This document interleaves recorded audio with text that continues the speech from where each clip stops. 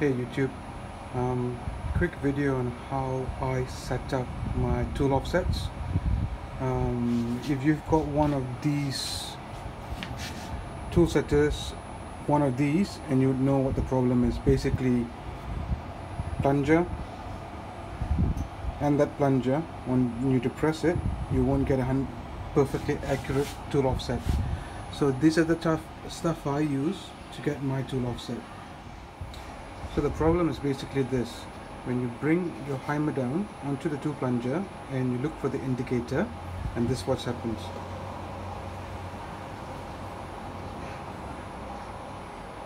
Indicator still does not come on. So the tool offset is going to be off each time you set up using the Haimer as your reference tool. My tool setter is a TTC 100 tool setter. From this point to this point.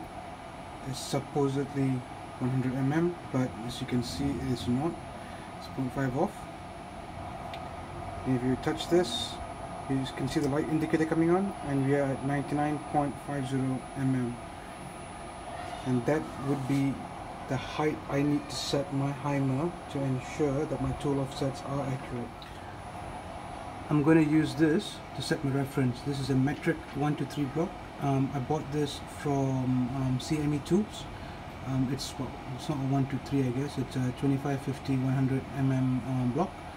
Um, I'm sure there's other ways to do this, but this is my way of doing it. Um, if you think there's another better way of doing this, please feel free to put it up in the comments.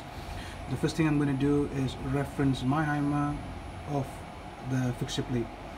It's the same as that. So um, let's do that now.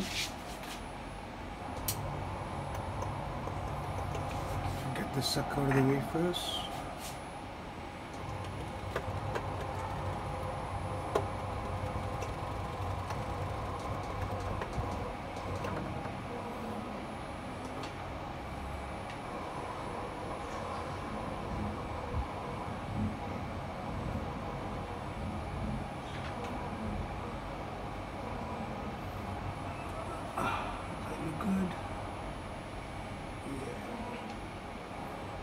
So come back over here. So this is uh, AdTech CNC 4640 um, if you are familiar with this then you'll know what I'm doing. If you're not um, this is a China industrial controller. Um, does its job. Love it. So the first thing you do coordinate screen edit call up your axis that you're editing. So in this case Z. End of block so now as you can see here. An absolute yarn 0 0 0 whatever yeah? So this is going to be how we measure the height. In jog mode I'm going to bring my spindle up or the tip of my hammer up to um, 100 mm so um, Z oops sorry there so jog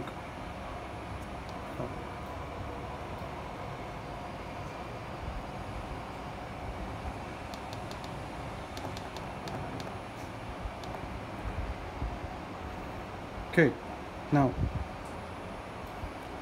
don't mind that. It's 102 I'll show you why next.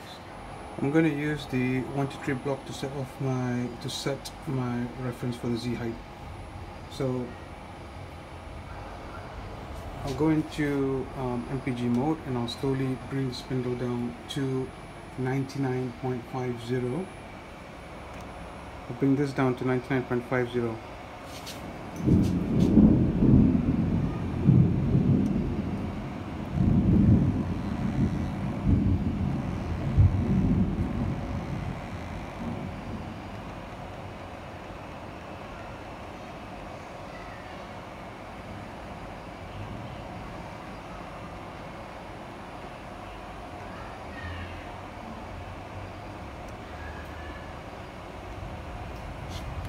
there you go.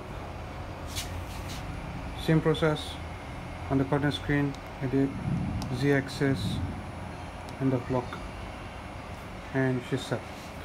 Now why why did I do that? Because you have to make you have to compensate for the ball in the Haimer and the plunge. So um, once you bring it down and you plunge it down the height's going to be different. So I, I find it easier if I just use one of these and bring the tip down to 99.50 so basically your next setup is going to be setting your two offsets. So I've got the TTC mounted in the bottom of uh, right on the top of my fixture under the spindle. This is a 40mm um, carbide, carbide um, um, end mill mounted on a uh, what do you call it? End mill, hold, end mill holder. So just going to do the operation now. Um, on the controller uh, just going to jog first. Coming down.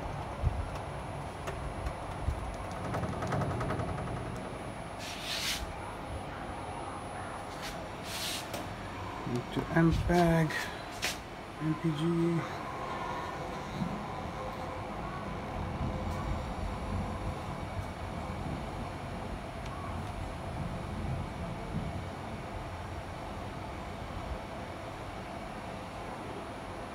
Okay, lights on, and that's a reference against the Haimer.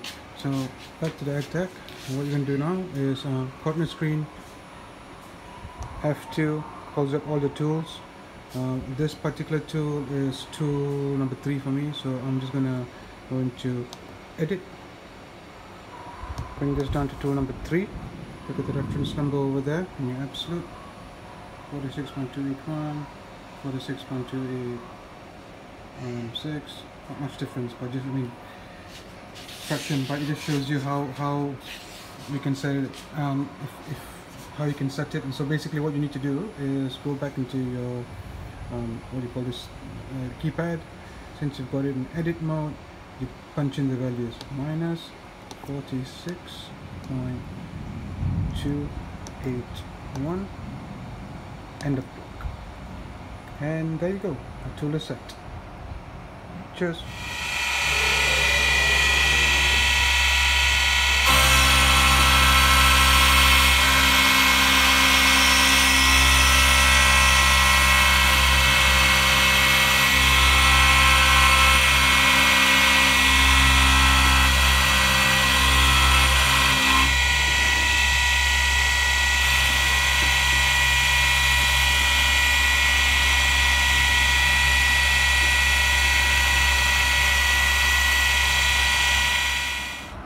So this piece is supposed to be 4.1 um, mm, so I'm at 4.109. Um, close enough for me. Cheers.